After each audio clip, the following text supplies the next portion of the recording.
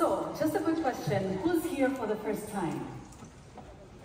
Oh, oh, all right. That is surprising.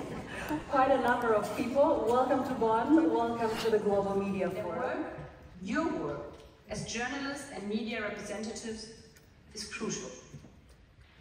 Free societies need free media to report the truth and to hold those in power accountable. Your work is also crucial if we want to make progress in overcoming divisions in this so complex world. As the theme of this year's Global Media Forum states, I strongly believe that in order to overcome divisions, we now need to step into one another's shoes. We need to be willing to understand one another's perspectives.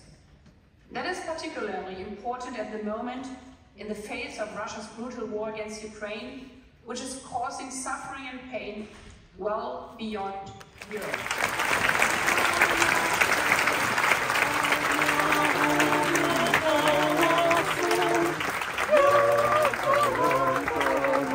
надо мной, закатить на